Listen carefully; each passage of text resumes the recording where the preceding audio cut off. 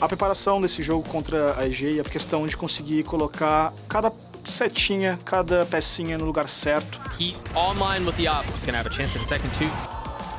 They look stunned here. They don't know what to do anymore. Ah, this is brutal.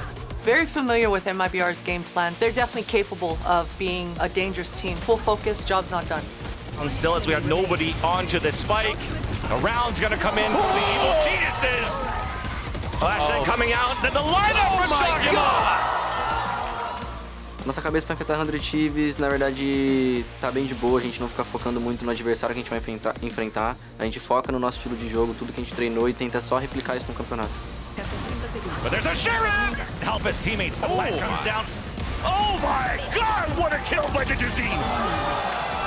We've only played them a handful of times, like in practice, so I don't really know what to expect. I think we just got to focus on winning. Towards B main, there's only 20 seconds left on the clock for Loud to act.